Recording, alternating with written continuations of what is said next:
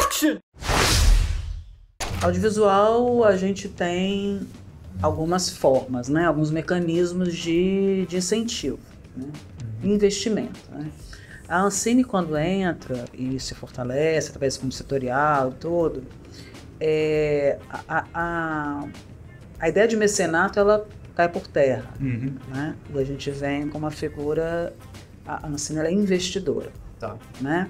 Então, fundo setorial, o BRDE, que é o banco que gere o fundo, né? enfim, eles são. É, é, é, um, é, um, contrato de investimento que a gente faz. Então, assim, a gente começa, a coisa muda. É, mas, para você acessar, segue ainda o formato de editais. Tá. Né? Sim. E, e além dos editais, a gente tem, aí no caso do audiovisual, a gente tem a lei do audiovisual, que é o artigo 1 a gente tem o artigo 39, que é o artigo que, que possibilita que as distribuidoras que tenham suas sedes fora do país é, é, invista numa produção brasileira, uhum. mas, aí, mas aí começa que vai atender interesse de quem? Da distribuidora. Fora, né? Ou a, o artigo 1A, que você transforma seu filme né, em cotas, né, que passam para a Bolsa de Valores, a Comissão de Valores Imobiliários, enfim.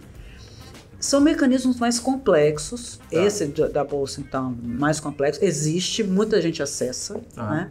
Mas eu vejo que as produtoras pequenas, e eu estou incluindo nesse lugar, né? Produtoras é até nível 2, nível 3, né? Segundo classificação na CN, eu vejo que a maioria acessa recurso do fundo setorial através de digital. Digital. Então, ok. O outro lado da moeda, mas aí já é um pouco fora do audiovisual ou audiovisual não comercial, bastante entre aspas, vamos lá, é, documentários, média, média, não longa, é, curta-metragem, hum. tem uma válvula ali pela Rouanet, pelo que eu vejo, pouco acessada, e aí sim vai atender interesse de empresa. Ela é para empresa, né? Tá. É um, é um recurso que você tem aprovado, ok, né, seu projeto e tal, e aí você vai até uma empresa, a empresa vai fazer um investimento nesse, nesse projeto. Faz, porque tem a dedução. Mas tem dedução e a marca da empresa vai estar associada. E quando você uhum. lida com a marca da empresa, o projeto passa a ser praticamente da empresa. É. Né? Dependendo é claro do que você entra, a marca só uma, né? Só é claro que você está ali assinando direção, produção, tudo isso mas você está sempre reportando a empresa. Uhum. Né? Então, é uma, é uma outra relação.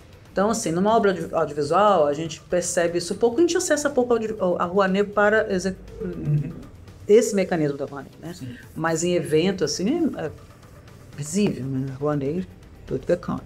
Então, assim, no audiovisual especificamente, eu vejo nós ainda pequenos a moeda através digital. Aqui no estado a gente tem o, o, o fundo, né? O fundo Funcultura, que é um fundo estadual. Uhum.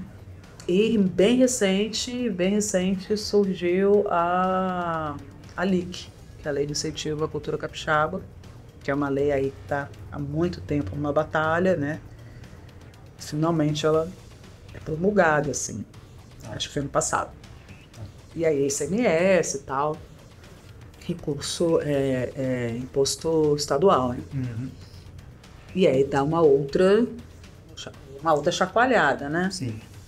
Mas também ela, ela é bem próxima da Rouanet, né? Tem que, é, tem que estar associada a empresas também. Tem que estar associada a empresas. Tá. Então você percebe que tem um pouco.